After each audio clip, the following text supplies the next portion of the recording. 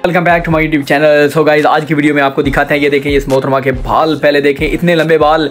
आप जो मतलब अगर कोई खातून देख रही है तो वो यकीनन उनका एम होगा कि काश ऐसे बाल हमारे भी होते। लेकिन आजकल आपको पता है कि ट्रेंड है शॉर्ट हेयर कट का। लड़कियाँ ज़्यादा लंबे बालों को पसंद नहीं करती और शॉर्ट हेयर कट की तरफ़ जा रही हैं। तो इस वजह से उनको मतलब लंबे लंबे बाल जो है वो शॉर्ट करवा देती हैं नो डाउट बट आपकी नज़रों के सामने देखें, कितने खूबसूरत तरीके से इस भाई साहब ने पहले कंगी करके एक लाइन में इनको किया और अब साथ में मशीन की मदद से इनको नीचे से ट्रिम कर देंगे ताकि जो बाल है वो ऊपर नीचे ना हो और एक मतलब ख़ास लेयर तक मतलब तय तक वो काटे जाएँ।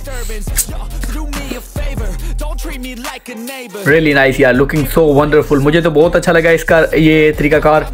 आपको कैसा लगा आपने मुझे ज़रूर बताना और देखें। ए, मेरे ख्याल में तो इस मोहतरमा को जो लंबे बाल हैं वो इतने ख़ास शूट नहीं कर रहे थे।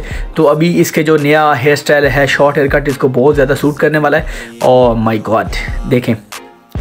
इसका सबसे बड़ी बात तो यह है कि इसका जो वे ऑफ़ हेयर कट है वो बड़े खूबसूरत तरीके से और बालों को बड़ा संभाल के यहाँ पे काटा जा रहा है ताकि बाल कोई ऊपर नीचे ना रह जाए जिसकी वजह से मतलब जब वो हेयर स्टाइल करें तो एक अजीब लुक ना दिखाई दे। तो इसके लिए ये मतलब बड़ा ही बेहतरीन अंदाज़ है इनका हेयर कट करने का। रियली वेरी फैंटेस्टिक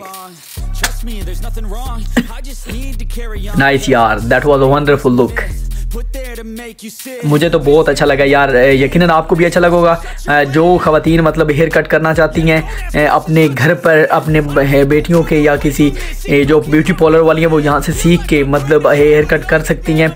देख लें कितनी लेयर तक उनको काटना चाहिए। ये देखें भाई साहब ने बड़े अच्छे तरीके के साथ मतलब इसको काटा है और यहाँ पे एक ख़ास लेयर तक महदूद होकर इसने हेयर को कट किया that was a really very amazing यार। मुझे तो बहुत अच्छा लगा आपको भी यकीन वीडियो अच्छी लगी होगी तो वीडियो को लाइक कर दें चैनल को सब्सक्राइब कर दें कमेंट में इस मोहतरमा के बारे में ज़रूर बताएँ Everybody in the world blind Please Lord give me a sign